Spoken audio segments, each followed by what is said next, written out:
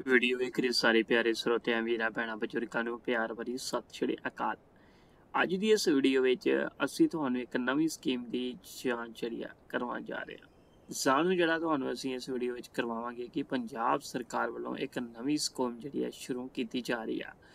ਪੰਜਾਬ ਦੇ ਹਰ ਘਰ ਪਰਿਵਾਰ ਨੂੰ ਮਿਲੇਗਾ ਲਾਭ। ਪੰਜਾਬ ਦੇ ਹਰ ਘਰ ਪਰਿਵਾਰ ਨੂੰ ਕੀ ਕੀ ਲਾਭ ਮਿਲੇਗਾ, ਪੂਰੀ ਜਾਣਕਾਰੀ ਦੇ ਲਈ ਇਹ ਤੁਹਾਨੂੰ ਵੀਡੀਓ ਅੰਤ ਤੱਕ ਜ਼ਰੂਰ ਦੇਖ ਲੈਣੀ ਚਾਹੀਦੀ ਆ। ਇਸ ਵੀਡੀਓ ਨੂੰ ਦੇਖਣ ਤੋਂ ਬਾਅਦ ਤੁਹਾਡੇ ਪੂਰੇ ਪਰਿਵਾਰ ਮੈਂਬਰਾਂ ਦੇ ਵਿੱਚੋਂ ਘੱਟੋ ਘੱਟ ਦੋ ਮੈਂਬਰਾਂ ਨੂੰ ਲਾਭ ਜਿਹੜਾ ਆ ਬਹੁਤ ਜ਼ਿਆਦਾ ਹੋਣ ਵਾਲਾ ਹੈ। ਤੁਹਾਨੂੰ ਦੱਸ ਦਈਏ ਕਿ ਜਦੋਂ ਦੀ ਆਮ ਆਦਮੀ ਪਾਰਟੀ ਦੀ ਸਰਕਾਰ ਬਣੀ ਹੈ, ਸਰਕਾਰ ਵੱਲੋਂ ਕਾਫੀ ਵੱਡੇ ਵੱਡੇ ਕੰਮ ਵੀ ਕੀਤੇ ਗਏ ਨੇ ਤੇ ਕੁਝ ਕੰਮ ਅਧੂਰੇ ਜਿਹੜੇ ਨੇ ਪਏ ਹੋਏ ਨੇ। ਸਰਕਾਰ ਵੱਲੋਂ ਕਾਫੀ ਗਰੰਟੀਆਂ ਜਿਹੜੀਆਂ ਰੱਖੀਆਂ ਗਈਆਂ ਨੇ, ਜਿਨ੍ਹਾਂ ਵਿੱਚੋਂ ਇੱਕ ਗਰੰਟੀ ਜਿਹੜੀ ਆ ਹੁਣ ਤੱਕ ਪਾਸ ਜਿਹੜੀ ਆ ਕਰ ਦਿੱਤੀ ਗਈ ਆ। ਪਰ ਤੁਹਾਨੂੰ ਦੱਸ ਦਈਏ ਕਿ ਜਿਵੇਂ ਆਪ ਸਭ ਜੀ ਨੂੰ ਪਤਾ ਹੈ ਕਿ 2 ਦਿਨਾਂ ਬਾਅਦ ਦੀਵਾਲੀ ਆਉਣ ਵਾਲੀ ਆ, ਇਹ ਵੀਡੀਓ ਜਿਹੜਾ ਆ, ਇਹ ਅਸੀਂ ਆਪਣੇ ਚੈਨਲ ਤੇ ਅਪਲੋਡ ਕਰ ਰਹੇ ਹੈਗੇ ਆ 10 ਨਵੰਬਰ 2023 ਨੂੰ। 12 ਨਵੰਬਰ ਦੀਵਾਲੀ ਵਾਲੇ ਦਿਨ ਤੋਂ ਬਾਅਦ ਪੰਜਾਬ ਸਰਕਾਰ ਪੰਜਾਬ ਦੇ ਹਰ ਪਰਿਵਾਰ ਨੂੰ ਇੱਕ ਲਾਭ ਜਿਹੜਾ ਆ, ਉਹ ਦੇਣ ਜਾ ਰਹੀ ਆ। ਜਿਹਦੇ ਨਾਲ ਪੰਜਾਬ ਦੇ ਤਕਰੀਬਨ 3 ਕਰੋੜ ਪਲੱਸ ਲੋਕਾਂ ਨੂੰ ਬਹੁਤ ਹੀ ਜ਼ਿਆਦਾ ਬੈਨੀਫਿਟ ਜਿਹੜਾ ਆ ਹੋਣ ਵਾਲਾ। ਹੈ ਇਹ ਲਾਭ ਜਿਹੜਾ ਆ ਪੰਜਾਬ ਦੇ ਹਰ ਘਰ ਪਰਿਵਾਰ ਨੂੰ ਮਿਲੇਗਾ। ਇਹਦੇ ਵਿੱਚ ਕਿਸੇ ਵੀ ਤਰ੍ਹਾਂ ਦੀ ਜਾਤ ਪਾਤ ਨਹੀਂ ਦੇਖੀ ਜਾਵੇਗੀ।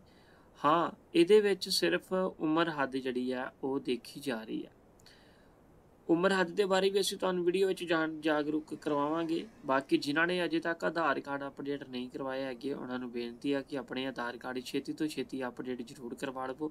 ਤੇ ਜਿਨ੍ਹਾਂ ਨੇ ਆਪਣੇ ਆਧਾਰ ਕਾਰਡ, ਪੈਨ ਕਾਰਡ ਨਾਲ ਲਿੰਕ ਨਹੀਂ ਕਰਾਈ, ਉਹਨਾਂ ਨੂੰ ਵੀ ਬੇਨਤੀ ਕਰਦੇ ਹਾਂ ਕਿ ਆਧਾਰ ਕਾਰਡ, ਪੈਨ ਕਾਰਡ ਨਾਲ ਲਿੰਕ ਜ਼ਰੂਰ ਕਰਵਾ ਲਵੋ, ਕਿਉਂਕਿ ਪੰਜਾਬ ਦੇ ਵਿੱਚ ਤੁਹਾਨੂੰ ਦੱਸ ਦਈਏ ਕਿ 1.5 ਕਰੋੜ ਲੋਕਾਂ ਦੇ ਪੈਨ ਕਾਰਡ ਜਿਹੜੇ ਆ ਬੰਦ ਹੋਣ ਵਾਲੇ ਆ।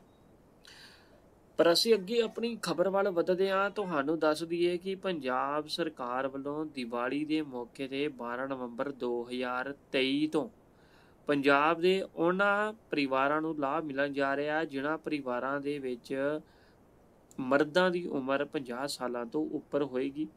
ਉਹਨਾਂ ਮਰਦਾਂ ਨੂੰ ਪੰਜਾਬ ਸਰਕਾਰ ਵੱਲੋਂ ਪੰਜਾਬ ਸਰਕਾਰ ਦੀਆਂ ਸਰਕਾਰੀ ਬੱਸਾਂ ਦਾ ਕਿਰਾਇਆ ਜਿਹੜਾ ਆ, ਮੁਫਤ ਹੈ। ਜੀ ਹਾਂ, ਇੱਕ ਸਰਕਾਰ ਵੱਲੋਂ ਇੱਕ ਵੱਡਾ ਐਲਾਨ ਜਿਹੜਾ ਆ ਕਰ ਦਿੱਤਾ ਗਿਆ ਕਿ ਪੰਜਾਬ ਦੇ ਵਿੱਚ ਜਿੰਨੇ ਵੀ ਘਰ ਹੈਗੇ ਨੇ, ਪਰਿਵਾਰ ਹੈਗੇ ਨੇ ਜਿਨ੍ਹਾਂ ਮਰਦਾਂ ਦੀ ਉਮਰ 50 ਸਾਲ ਤੋਂ ਉੱਪਰ ਹੈ, ਉਹਨਾਂ ਨੂੰ ਸਰਕਾਰੀ ਬੱਸਾਂ ਦੇ ਵਿੱਚ ਮੁਫਤ ਸਫ਼ਰ ਦੀ ਜਿਹੜੀ ਸਹੂਲਤ ਹੈ, ਉਹ ਪੰਜਾਬ ਸਰਕਾਰ ਨੇ ਜਾਰੀ ਕਰ ਦਿੱਤੀ ਆ। ਇਹਦਾ ਨੋਟੀਫਿਕੇਸ਼ਨ ਵੀ ਜਿਹੜਾ ਸਰਕਾਰ ਜਿਹੜਾ ਆ 12 ਤਰੀਕ ਨੂੰ ਪਾਸ ਜਿਹੜੀ ਆ ਕਰਨ ਜਾ ਰਹੀ ਆ। ਸੋ ਪੰਜਾਬ ਦੇ ਵਿੱਚ ਤੁਸੀਂ ਕਿਸੇ ਵੀ ਜਗ੍ਹਾ ਤੋਂ ਬੈੰਦੇ ਹੋ, ਪੰਜਾਬ ਰੋਡਵੇਜ਼ ਦੀ ਬੱਸ ਹੋਣੀ ਚਾਹੀਦੀ ਆ, ਠੀਕ ਆ? ਤੁਸੀਂ ਪੰਜਾਬ ਦੇ ਅੰਡਰ ਅੰਡਰ ਹੀ ਜਿਹੜਾ ਸਫ਼ਰ ਆ, ਜਿਹੜਾ 50 ਸਾਲ ਤੱਕ ਦੇ ਮਰਦ ਨੇ ਜਿਹੜੇ, ਉਹ ਬਿਲਕੁਲ ਸਫ਼ਰ ਫ੍ਰੀ ਆਫ ਕੋਸਟ ਕਰ ਸਕਦੇ ਨੇ।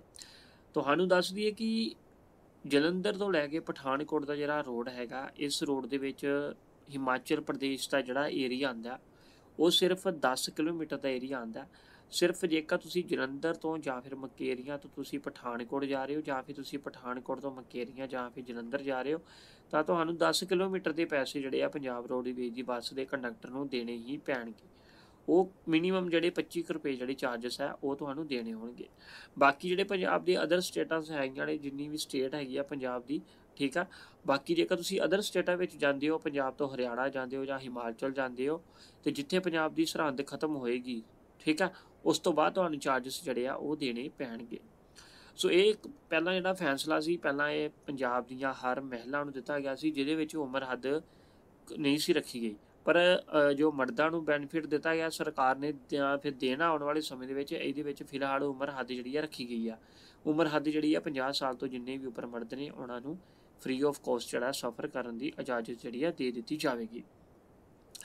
ਬਾਕੀ ਆਧਾਰ ਕਾਰਡ ਦੇ ਉੱਪਰ ਜਿਹੜੀ ਤੁਹਾਡੀ ਉਮਰ ਹੈ ਉਹ ਪੂਰੀ ਹੋਣੀ ਚਾਹੀਦੀ ਆ। ਤੇ ਫੋਟੋ ਜਿਹੜੀ ਆ, ਜਿਸ ਵੀ ਮਰਦ ਨੇ ਸਫ਼ਰ ਕਰਨਾ, ਬੱਸ ਵਿੱਚ ਉਹਦੀ ਫੋਟੋ ਜਿਹੜੀ ਆ ਬਜ਼ੁਰਗ ਦੀ ਲੇਟੈਸਟ ਹੋਣੀ ਚਾਹੀਦੀ ਆ। ਸੋ ਅੱਜ ਦੀ ਵੀਡੀਓ ਵਿੱਚ ਇੰਨਾ ਹੀ। ਧੰਨਵਾਦ।